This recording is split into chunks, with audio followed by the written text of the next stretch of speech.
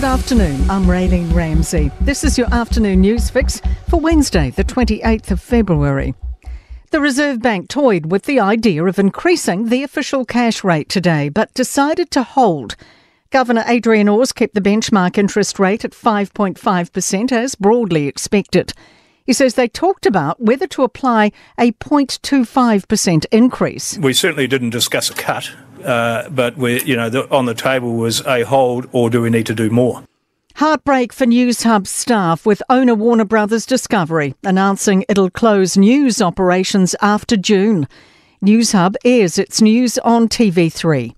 Networks head Glen Kyne says they can't continue in the face of economic headwinds, and the company will become digital forward with a focus on ThreeNow.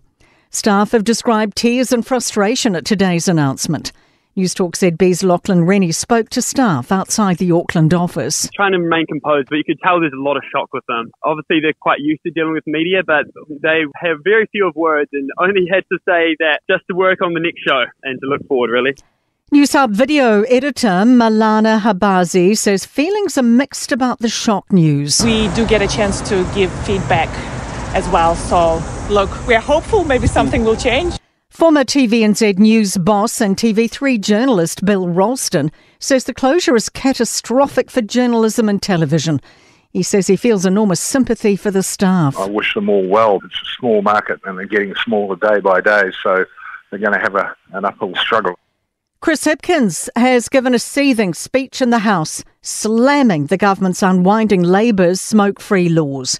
The legislation had restricted retailers who can sell cigarettes and banned people born after 2008 from buying them. A bill scrapping the moves is now in its first reading. The Labour leader says having just axed the Māori Health Authority, the government's now passing a bill it knows will worsen Māori health outcomes. And the members opposite might be shaking their head about the fact that I'm angry about this. My question again to them is why the hell aren't you? Because this is a bill that will kill people. Hipkins has also lit fire on apparent moves to shake up firearms laws. Associate Justice Minister Nicole McKee has told media everything will be on the table when gun laws are revisited, including rules on semi automatics.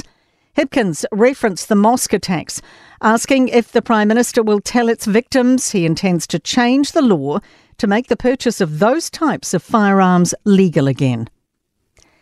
Two 19 year old men are due in court today, charged with murder in relation to the death of a Hastings 24 year old. Javon Aranui died in hospital with head injuries a day after an assault in the early hours of December 20 last year.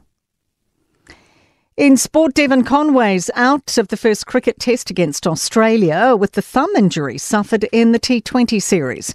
The Black Caps opener is undergoing further tests this week. He'll be replaced by Will Young. Taha Kemara, the last fit first five standing at the Crusaders, gets a start in Saturday's Super Round clash with the Waratahs in Melbourne. Meanwhile, the Blues welcome back Akira Ioane and Ofa Tu'ungafasi from injury to face the Highlanders, but Rieko Ioane and Finlay Christie will take All Blacks rest. I'm Raylene Ramsey. That is your latest news fix. We'll be back with the next update tomorrow morning from the Newstalk ZB newsroom.